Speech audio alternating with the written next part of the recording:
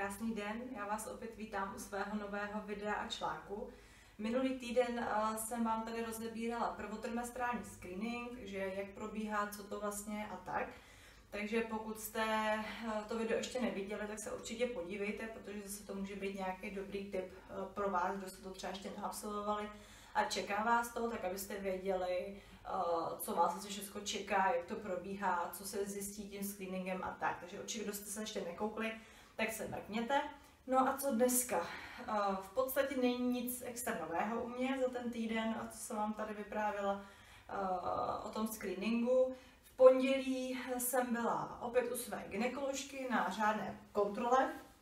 Ta kontrola dopadla v pohodě, byla to taková v podstatě rychlovka, tentokrát mě paní doktorka ani uh, neprohlížela vaginálně, ale už použila jenom tu sondu přes břicho, takže jenom přijížděla přes břicho.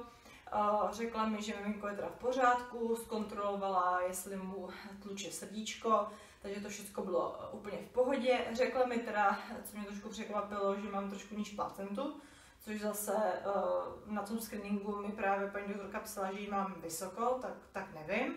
Eh, prý to teda ještě asi jako vytáhne, že to je normální u, takhle na začátku toho těhotenství a že to má takhle polovina žen, tak já doufám, že to bude v pohodě, protože bych nerada pak třeba musela rodit císařem nebo tak, protože bych opravdu si přála ten přirozený porod, tak snad to tak vyjde. Já jsem se paní doktorky ptala na to, jestli už je vidět pohlaví, tak eh, to se, na, to se tam snažila na to podívat, jestli je vidět nebo není. Říkala, že eh, to děťátko má eh, kolínka u sebe a že vlastně tam není moc jako nic moc vidět, ale že má nějakou domněnku, než mi to nechtěla říct, já jsem to potom z ní dostala. To vám ale nebudu říkat, to vám řeknu, až, až to budu vědět na 100%, co to teda bude, nebo na 100%, ale to nikdy není na 100%, že jo ale eh, až mi to potvrdí eh, za měsíc, jdu znovu na tu kontrolu, tak pak vám to povím. No, um, ale říkala paní doktor, že to je fakt jenom domínka, že neví, že to miminko má ty u sebe. Není to moc vidět, tak jsem sama zvědavá, teda jestli, jestli ten odhad bude správný nebo ne. No a co mě překvapilo, eh, bylo to, že už se nezjišťuje délka toho plodu, už vlastně se zkoumá jenom uh, ta hmotnost toho miminka, jestli přibírá. Eh, paní doktorka říkala, že ta, ta délka toho miminka, že už to je na genetice. To znamená, eh, že záleží, jestli to miminko bude prcek po mně, anebo jestli to bude dlouhán po mém manželovi, který je vysoký. Takže uvidíme. No, eh, každopádně pak, když jsem šla od paní doktorky, tak jsem se šla ještě zaregistrovat do porodnice, nebo teda já už jsem tu registraci udělala někdy minulý týden, v tom 14. týdnu, ale, no, před minulý týden, ale eh, ještě zbývalo zajít osobně do té porodnice a ještě něco tam doníst. No a to je právě téma, kterým bych se dneska chtěla maličko pověnovat, jenom se trošku zmínit o těch porodnicích, mezi kterými jsem vybírala a jakou jsem teda nakonec vybrala a proč jsem ji vybrala. Uh, téma, kde rodit, to je takový jako uh, hodně diskutovaný téma, hodně uh, na internetu najdete spoustu diskuzí na to, jakou porodnici si vybrat, nebo naopak právě nevybrat. Eh, samozřejmě u mě, když jsem teda někomu zmínila, že jsem teda těhotná, tak hned bylo, kde budeš rodit. Eh, takže jsem dostala spoustu takových typů. Většinou to bylo tak, že jedna maminka mi řekla, že eh, rodila někde a že to bylo super a že určitě nedoporučuje rodit jinde. A druhá maminka mi zase řekla úplně opak, takže opravdu je to takový, že to člověk musí brát z rezervu. Nicméně, já, protože jsem z Prahy, nebo víceméně, teď jsem v podstatě ze středočeského kraje, že bydlím kousek za Prahou, ale jezdím do Prahy denodenně, takže uh, jsem vybírala mezi porodnicema a pražskýma. A uh, pak jsem ještě teda zvažovala Neratovice, takže to jsou vlastně porodnice, které bych dneska chtěla tak jako lehce rozebrat. Opravdu spoustu informací se dozvíte na internetu, takže nemá moc smysl uh, to tady rozebírat nějak do detailu. Ale Eh, z jaký jsem teda prvně vybírala? Úplně na začátku jsem vybírala mezi Neratovicem a Podolím. Neratovice to byla vlastně první porodnice, kde, kterou mi tady doporučila moje známá. Říkala mi, že rodila v Neratovicích, že doporučuje jiný Neratovice, pak mi to doporučilo ještě pár dalších maminek. Hlavně teda z toho důvodu, že tam, že to je menší nemocnice, taková jako trošku s alternativnějším přístupem, Je to porodnice, kde teda nerodí za stolik těch maminek, takže si tam můžou dovolit takový osobitější, rodinnější přístup. A to je jeden z těch kladů té porodnice, že opravdu, co jsem teda slyšela, tak tam se věnují těm maminkám i těm uh, malým děťátkám, jsou milí, starají se o vás, mají na vás dostatek času, tím, že tam není tolik těch maminek, rodiček. Takže na tohle jsem opravdu slyšela úplně pro chválu, ve všem vám prý do vstříc, co potřebujete a tak. Otázka by bylo, jak by to bylo, kdyby, uh, kdyby tam rodil hodně maminek, protože co jsem slyšela, tak hodně z Prahy maminek jezdí právě uh, třeba do těch Neratovic rodin nebo ještě do Mělníka. A naopak zase středočišky jezdí do pražské nemocnice, což je takový zajímavý. Každopádně uh, nakonec mě ale Neratovice, nebo od Neratovic mě odradilo to, že nemají dětskou JIP, což je podle mě jeden z takových jako velkých mínusů pro mě zásadních, protože pro mě je důležitý, aby uh, o to miminko bylo opravdu 100% postaráno, kdyby náhodou se cokoliv, nedej bože, stalo.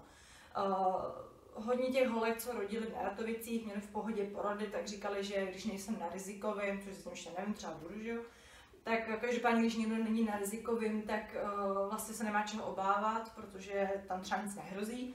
Ale já si myslím, uh, že to člověk nikdy nemůže dopředu vědět, jestli uh, se během toho porodu něco třeba nepokazí, nebo, nebo jestli opravdu nebude potřeba Eh, aby to miminko absolvovalo hned nějakou operaci nebo, nebo cokoliv se může prostě stát. A já na to si připravím na tohle, protože v první řadě mi jde o to, aby, to, aby o to miminko bylo postaráno a pak teprve o mě. Já tam nejdu na dovolenou, jedu tam porodit. Takže ono, eh, tím, že nemají tu jibku a nemají to vybavení tam na tyhle ty případy, samozřejmě inkubátor mají, postarají se tam, co týče císařského řezu a tohle, ale když by, nedej bože, to miminko potřebovalo nějakou opravdu třeba operaci nebo nějakou opravdu péči nadstandardní, tak to miminko eh, posílají eh, do Prahy eh, na nějaké právě místo, kde ta jibka je, kde se o to miminko postarají, jsou na to vybavení. To si myslím, že je docela taky takový riziko, protože to miminko musí absolvovat tu cestu do té, do té porodnice a zase je to nějaký čas, kdy to miminko může být třeba nějak ohrožený na tom životě, takže mi to přijde takový zbytečný. Nehledě na to, že si dokážu představit, že mi to miminko odvezou eh, někam do Prahy a já budu vlastně úplně mimo, eh, mimo kontakt s ním. Eh, ještě jsem právě četla, že když je třeba žena na císaři, má císařský řez, tak trvá i delší dobu samozřejmě, než se to miminku zase dostane. Takže, takže tohle to jsem zavrhla kvůli tomuhle. Další, co jsem teda přemýšlela na začátku, je podolí.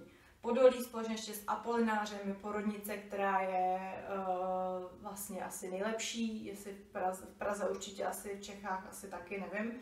Každopádně každý chce dneska rodit uh, buď v Podolí nebo u Apolináře. Spíš si myslím, že každý chce, chce rodit v Podolí.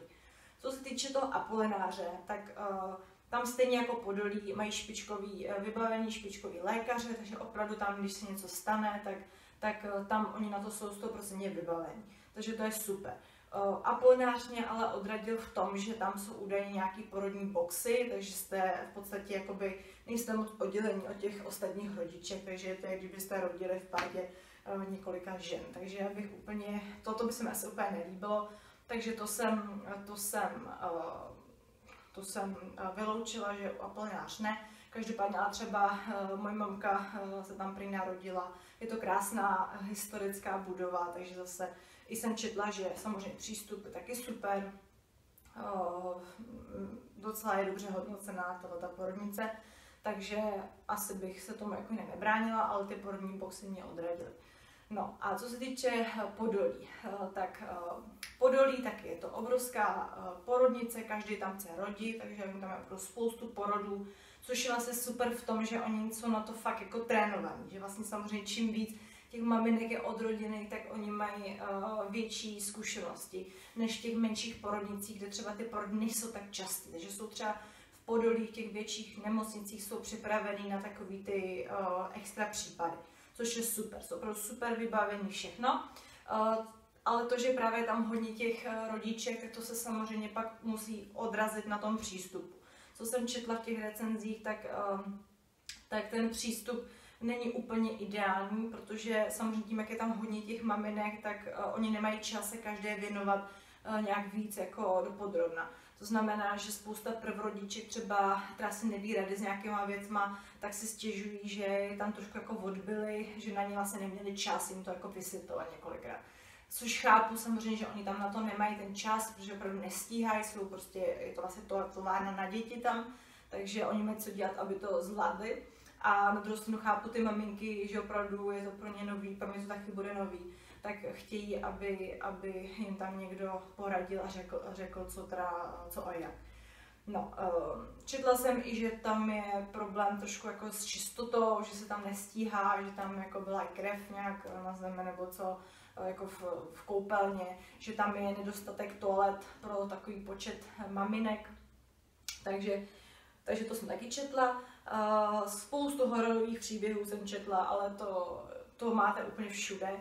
Uh, samozřejmě také, co týče přístupu sester, tak uh, to si stěžují rodičky vlastně všude na u všech těch diskuzích.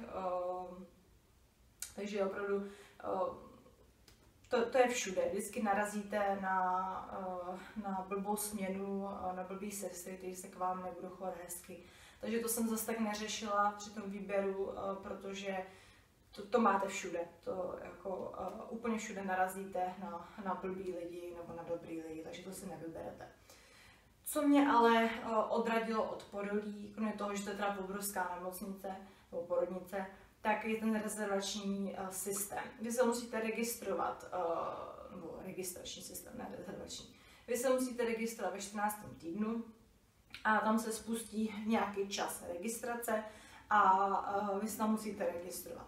Problém je, že tím, jak je tam samozřejmě ta kapacita je nějak daná a těch rodiček je hrozně moc, tak strašně snad, často se stává, že ty maminky se tam prostě nedostanou. Že opravdu sedí u toho a prostě uh, už je to hned plný.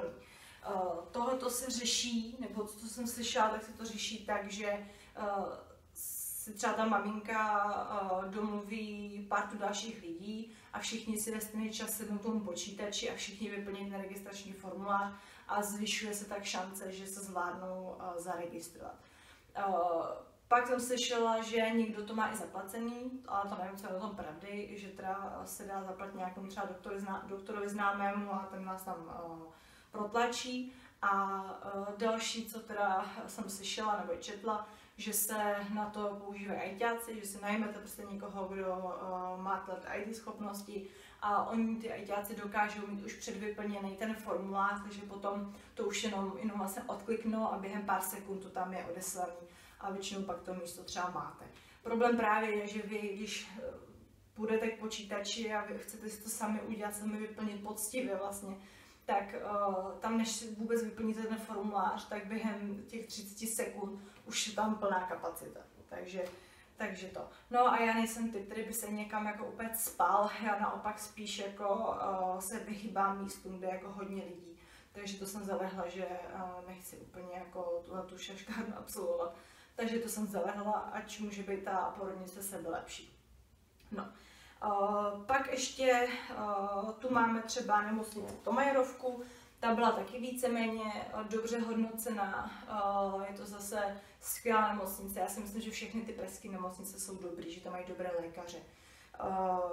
O Tomajerovce jsem ale nějak extrémně nepřemýšlela, že bych tam rodila, ačkoliv sama jsem se tam narodila, ale nějak je to asi docela daleko ode mě, kde bydlím, takže takže to jsem nakonec uh, taky vyloučila, ale jinak jsem na to četla docela i dobré recenze. Samozřejmě je to furt stejný. Dobrý sestry, špatný smě, sestry, dobrá směna, špatná směna.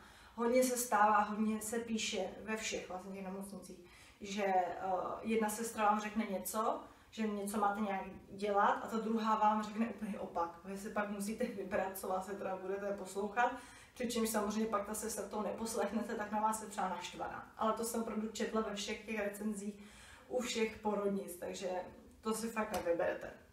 Takže to byla to Majerovka. Další je moto. Uh, moto jsem zavrhla rovnou, jednak je to hodně daleko a jednak uh, pocitově k tomu motolu nemám dobrý vztah.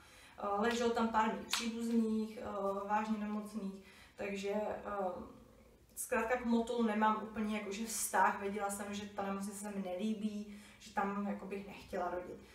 Navíc moje babička tam dostala zlatého stafilokoka a dokonce jsem v jedné diskuzi četla, že že na tom porodním, takže tam nějaký miminko dostal zlatého stafilokoka a nějak během krátké doby nějaký další miminko, takže uh, si myslím, nebo mám takový pocit, že ta hygiena tam třeba nebude úplně jako dobrá, ale nevím, nechci jako říkat nic špatného proti mozlu, protože osobně si nemám žádnou zkušenost, říkám jenom to, co tak nějak jako slyš, jsem slyšela, nebo to.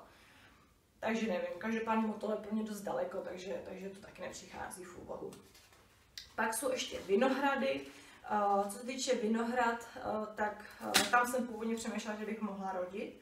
Říkala jsem si, že to je taky taková jako porodnice, která nemá nějakou obrovskou kapacitu těch rodiček, jak jsem o tom docela přemýšlela, ale odradilo mě to prostředí tam, že to je taky jako docela starý, takový jako komunistický a mají tam teda údajně i zastaralý to vybavení, takže se mi úplně tam jako nechtělo, nechtělo nějak jako to rodit. Přece to prostředí chci také, aby bylo nějak jako hezký nelíbí se mi, jak to tam bylo nějak jako vykachličkovaný, nebo to takový, moc se mi to nelíbilo, takže, takže to jsem zavrhla taky nakonec.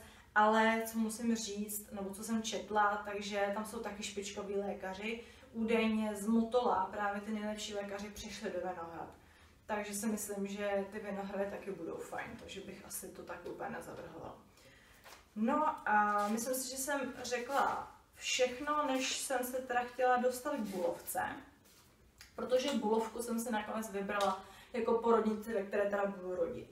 Eh, což teda možná taky spoustu lidí nepochopí, protože i na Bulovku eh, jsou samozřejmě negativní recenze, ale opravdu to si fakt nevyberete, protože to je, mně přijde, že to je všechno úplně stejný. Všechno má plusy, minusy a tak nějak zhruba je to vyvážený tady tohleto. Hlavně já i takový ty uh, názory nebo recenze typu, že tam na mě byli zlí a, a tohleto, tak já to beru dost rezervou, protože strašně záleží na tom, i kdo tu recenzi píše, jak se sám choval tomu personálu a tak. Takže opravdu na tohleto já moc nedám a spíš dám na vlastní zkušenost.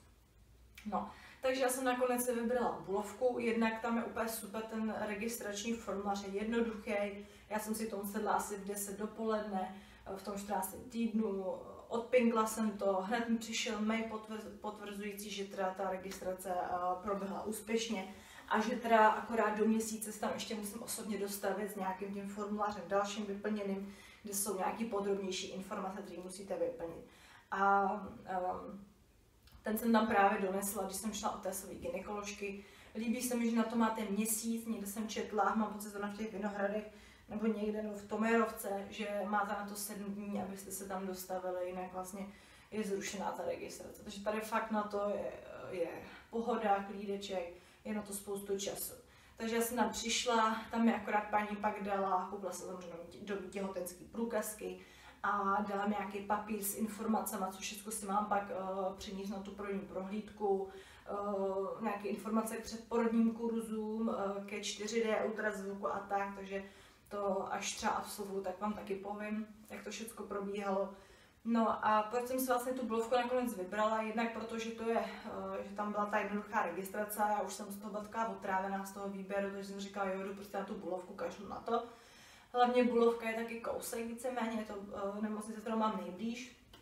A uh, mám si super zkušenosti. Já sama jsem tam byla vlastně dvakrát, jednou jsem tam ležela, měla jsem tam dědu, spolu, vlastně moje babička tam dělá vrchní sestru, tak nějak se mi líbí ten areál. Nějak to je jediná snad asi uh, nemocnice celkově, která na mě nepůsobí depresivně. Jinak já strašně nemám ráda nemocnice. A ta Bulovka tak nějak mě asi blízká, tím, že opravdu od malička jsem tam uh, v podstatě tak nějak jezdila, protože jak tam dělala ta babička, tak občas jsme takhle třeba zajeli, nebo uh, mamka tam moje odrodila uh, segru mojí, teta odrodila dvě děti.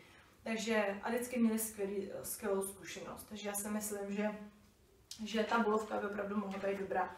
Takže já jsem se nakonec uh, dohodla pro bulovku. I jsem dokonce četla, že se tam teď otvírá nějaký centrum pro rodičky, nějaký, že budou moct uh, rodit uh, snad s porodní asistentkou, ale budou mít případně, případně, kdyby potřebovali, tak tam bude k dispozici lékař, tak, tak to si myslím, že je taky super. Je to tam prý takový jako mother friendly, uh, je dobrý, že když vyšetřují to miminko, tak vám ho uh, neodnesou, že ho vyšetřují vlastně u vás a tak. Takže, takže to si myslím, že to jsou jako věci, které mě, které mě se mi líbily a přesvědčily mě o tom, že si teda vyberu tu bulovku.